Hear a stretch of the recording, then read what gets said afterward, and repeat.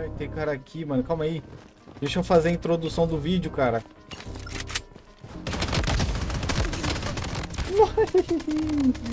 Já começamos o vídeo como? Já começamos o vídeo como? Mano, já começamos o vídeo como? É o seguinte, galera. Mais um vídeo se iniciando aqui. E, bom, vocês já viram aqui no começo, né? O vídeo vai ser sobre a AK-47. Tô jogando bastante Blood Strike nesses últimos dias. E dentre esses dias eu peguei uma partida onde o meu inimigo dropou uma AK. E eu peguei essa AK e fiquei simplesmente surpreso, mano. Porque ela tá deletando demais. Tá tipo assim, surreal. E eu fiquei surpreso porque no último, na última atualização que teve, eles nerfaram eles nerfaram essa arma. Só que, mano, olha esse dano que tá dando. Eu não sei que nerf é esse que eles fizeram, mas não não surgiu efeito, mano. Ela tá muito forte. E tem cara de sniper. Eu acredito que ela ser, ela, eu acredito que ela deve ser a melhor AR aí para quem quiser uma gameplay de média e longa distância. Tem bastante bala e, cara, ela pega de muito longe, cara, as deletadas dela. Então eu recomendo vocês dar uma oportunidade para essa arma aqui, mano. Por enquanto eu não tô vendo muita gente usando aqui nos meus lobbies. Então dá pra você tirar proveito disso, mano, se você tá vendo esse vídeo aqui. Caraca, o nome do cara tava em cima do... Do loot ali, eu não consegui enxergar que era inimigo. É, também aproveitando, né, se você tiver reparado que o, o filtro está mais claro, é porque eu mudei, tá? Eu vou deixar o print aí das minhas configurações.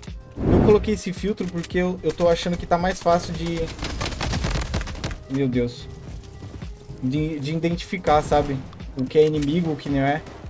Às vezes no filtro vívido, ficava muito difícil de... De saber o que, que não era inimigo, o que, que era. Tinha alguns personagens que ficavam camuflados no telhado, então... Com esse filtro mais claro, eu tô sentindo que tô enxergando melhor, mano. Então fica a dica aí para quem não, não sabe disso, né? Pode ser que para você ajude também. Obviamente que vai depender muito da tela do celular. Tem celulares que que as cores são diferentes, né? Não muda tanto, mas existe uma certa diferença. E também, nesse filtro, eu senti que meu celular tá esquentando menos, tá? Pode ser coisa da minha cabeça? Pode. Mas, cara, vocês têm que fazer o teste é importante vocês fazerem o teste. Porque, cara, aqui onde eu moro tá fazendo tanto calor, mano, que meu celular tá esquentando por qualquer coisa. E só por ele não tá esquentando aqui, eu já acho que é interessante eu comentar com vocês sobre isso. Bom, tô escutando bastante tiro aqui do outro lado da prisão. Já vamos engajar nessa treta. Aproveitar que a mira tá quente. Vocês vão ver que, mano... Olha isso, mano. Que? Caramba.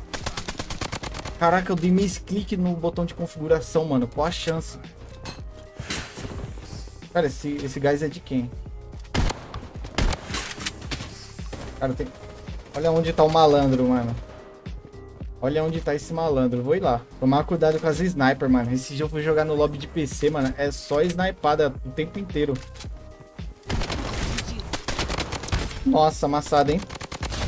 Tomou aulas aqui. Tomou aulas. Tô pegando a movimentação já, mano. Já tinha um bom tempo que eu tava sem jogar Blood Strike, né? Agora eu tô dando uma focada, tá saindo bastante vídeo aqui no canal. Inclusive, se você é novo e chegou agora, já recomendo você se inscrever, que eu tô focado aqui no Blood Strike, tá? Eventualmente eu vou trazer também uns vídeos aí de Warzone, mas como o jogo tá, tá horroroso, fica difícil, né? Mano, vou, vou upar colete. Vou jogar igual Nerdola. Os Nerdola upa colete, você bota fé? Vocês botam fé que tem nerdola que joga o pano colete, mano? Eu não acreditava nisso não, até eu presenciar. Mas... é muito forte, velho. Eu acho que a galera não tinha percebido ainda, porque tava tendo aquele bug de mira, né? Do cliquinho. E, pô, o TTK ficava tão baixo. Nossa, o cara tá no Red Glitch. TTK ficava tão baixo que eu acho que a K-47 acabava aqui ficando de lado, né? Agora que não tem mais bug de mira, né? Parece que ela vai ser uma arma meta. Aí dá bem, mano, que eu gosto muito de jogar com ela. Nos meus primeiros vídeos de Blade Strike eu jogava muito com, com essa arma. Nossa. Sai. Caraca, mano, que susto. Nossa, paizão, ó. Aí você deu mole, tá? Vou pegar só 12.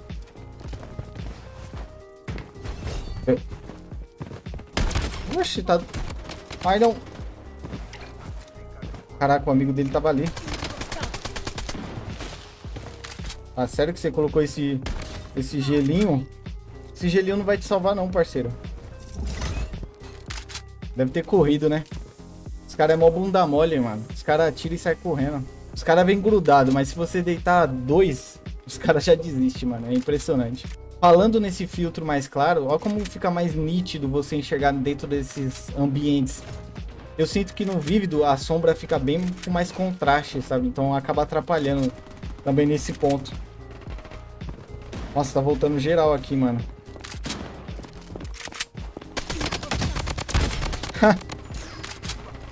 Deu mole, paizão. Tá achando que tá na Disney. Ó o outro querendo me pegar de ladinho.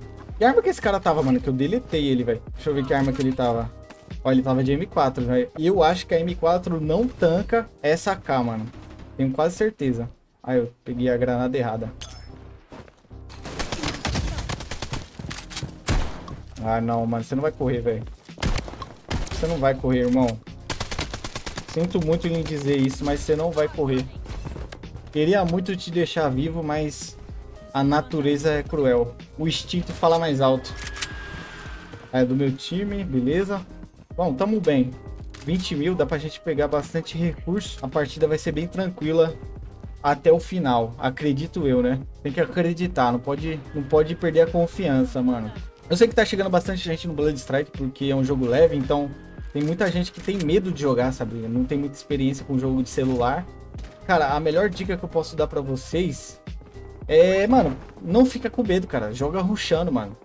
Quanto mais você rusha e mais você morre, mais rápido você aprende a jogar, mano. É a melhor maneira pra você ter uma gameplay boa. E também assiste os vídeos, mano. Porque assistindo os vídeos é mais fácil de vocês adquirir noção de jogo, né? E como eu tô jogando bastante, vocês... Ah, não. Caraca, esse cara tá lagado, hein? Que isso, o cara tá... O cara tá lagadaço, mano. Que isso, irmão? Você é louco, é? Mano, esse cara, esse cara é louco, velho. O que, que ele tentou fazer aqui, mano?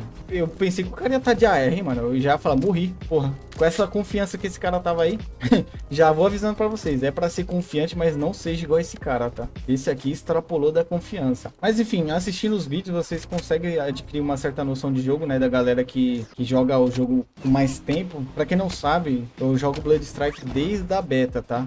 Eu não tava trazendo tantos vídeos, porque antes de chegar esse mapa eu não curtia muito é, jogar, porque o mapa anterior a esse era muito chato, sabe? É muito vazio, não tinha muita trocação. E esse aqui não, mano. Esse aqui é muito mais... É, esse aqui não, esse aqui é muito mais trocação. O que, mano, eu consigo ficar entretido a partida inteira, sabe? É, um, é uma gameplay muito gostosa de, de jogar. Que isso, mano. Pô, irmão, você veio no pré-fire. Aí você deu mole. Tem que tomar cuidado com esses pré-fire aí, rapaziada. Ih, o cara tá vivo aqui. Tem mais um. Esse aqui não levanta, não. Será que tem como ele subir ali? Então, já vou dar um pré-fire de granada. Ah, vem de 12 que eu também tenho, parceiro. E ainda vou pegar só 12 e vou tirar a onda. Deixa eu rilar o cara do meu time, como eu sou humilde, né? Os aleatórios pedem pra ressar o resto. Agora vai eu pedir pra eles me ressar. Eu morri, morri. Tomei das costas. Irmão, não entrega a partida, pelo amor de Deus. Boa. Caralho, sai daqui! Porra, aleatório. Caramba. Ainda bem que ele ficou ali, pelo menos tomou tiro por mim. Tem que jogar smoke aqui.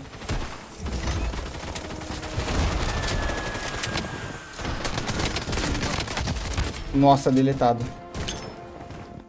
Deletado, paizão. Rapaziada, a situação aqui tá ficando esquisita. A situação tá ficando esquisita, hein? Isso, você é maluco, irmão? Cara, eu perdi ele de vista. Perdi de vista. Ai, mano. F, F, rapaziada. Digita F aí. Aqui eu fui de lobby. Aqui eu fui de lobby. Ah, finalmente o cara pediu pra mim relar ele, né? Pensei que eu ia ter que apertar a loja. Já não basta reviver os caras. Eu só queria estar tá de zero aqui, mano. Se eu tivesse com zero, eu, eu subia um high ground ali e matava geral. Nossa, esse aí, meu, esse aí deu mole pra caramba. Ih, tem cara de 12 automática. Não! Puta que pariu! Aí fudeu, rapaziada. Pô, olha essa partida que eu vou perder, mano. O cara tá com 6 mil e ele tá FK, mano. Ai, rapaziada, vou, vou desabafar aqui com vocês, mano. É cada aleatório que eu pego nesse jogo, mano, que é uma tristeza absurda. Olha essa partida que eu vou perder, mano. Nitidamente, esse, esse cara não era pra estar tá nesse ranking, sabe? Eu não sei qual é o critério que eles estão utilizando nas partidas, mas, cara, tá muito ruim o pareamento. Tipo, tá muito ruim mesmo, sabe? É um problema muito grave que a galera não tá dando a devida atenção. Mas enfim, vou mostrar aqui pra vocês a classe que eu utilizei nessa K47, que tá simplesmente avassaladora. Começando aqui pelo cano, estou usando o silenciador de precisão. Ele aumenta o alcance, ajuda no controle de recoil e não deixa aparecer as notificações de tiro, né? Que é muito importante também. No cano, estou usando esse daqui, cano Magpul, para dar mais alcance. É, a empunhadura vertical longa, para melhorar o controle de recoil. A mira, eu gosto de usar a mira 2x nas ARs. Você pode estar tá optando por uma mira 3x também, acredito que dá para utilizar mas eu acho melhor a 2x. A coronha eu tô usando a CTR, ela vai te dar um pouco mais de velocidade para abrir a mira. É, ela prejudica um pouco de controle de recoil, como vocês podem ver ali em cima, mas é coisa bem pouca, tá? Não prejudica muito, então é uma coronha bem versátil aí para quem gosta de mobilidade. E o carregador eu tô usando o máximo possível, que é esse daqui de 60 balas, que ajuda bastante, beleza? Então é isso, galera. Espero que vocês tenham curtido a gameplay. Não esquece de deixar o like. Vou ficando por aqui. Até a próxima, mas lembrando que quando eu tô gravando esse vídeo aqui, parece que saiu o modo trios e eu vou estar tá gravando aí é, no canal, então já fica ligado que eu vou comentar um pouco sobre esse modo trios, que tem alguns pontos negativos que eu acho que pouca gente vai dar a devida atenção e é necessário falar. Então já fica ligado aí no canal. Até o próximo vídeo.